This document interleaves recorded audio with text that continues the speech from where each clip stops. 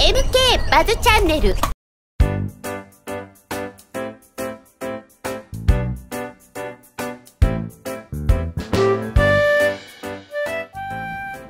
はいどうも向田です。今回はバドミントン界話題の結婚報告に触れてみたいと思います。それでは早速行ってみましょう。改めまして日本ユニシス金子祐希選手高橋彩香選手ご結婚おめでとうございます。今回の動画は、えー、めでたく結婚されたお二人の戦績印象的な試合などを振り返りながらよりめでたい気持ちを高めていく動画になります。ご興味のある方ぜひご覧ください、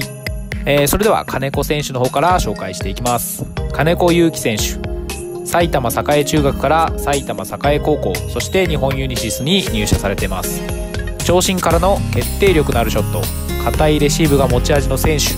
だと私は思ってます、えー、主な大会の戦績などはこちらになります。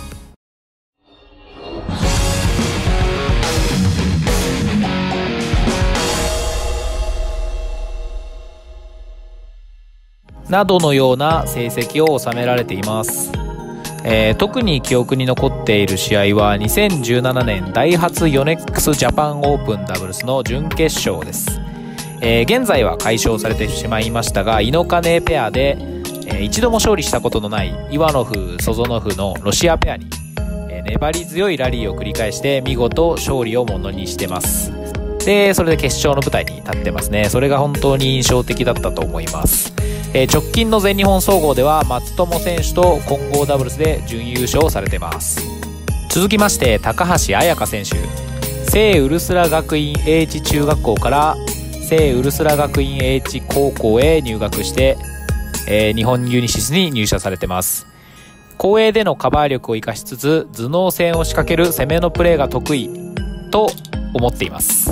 えー、主な大会の戦績はこちらになります。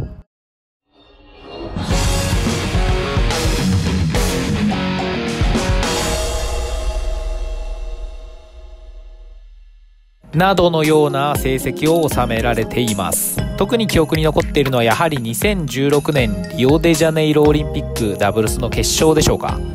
えー、60-19で追い詰められてから松友選手が冷静にネット前に落としてポイントしたのを皮切りに5連続得点。21-19で勝負を決めています。この得点は本当にただただ脱帽です。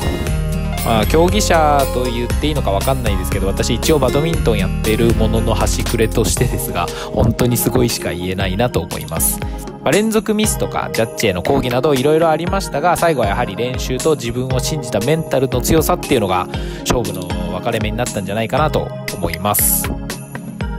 お二人とも当然のように立派な成績を残されています。もちろんこの成績は当然ではなくて一重に練習の成果だと私は思ってます。えー、金子選手は現役続投中で、えー、今回の2020年全日本総合でもしっかり結果を出していますし今後もますますの活躍が期待できる選手かなと思います高橋選手は引退されて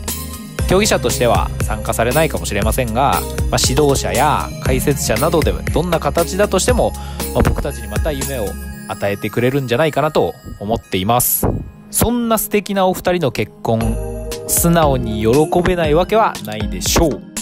えー、最後となりますが金子選手高橋選手ご結婚おめでとうございます。以上向田がお送りしました。MK バズチャンネル。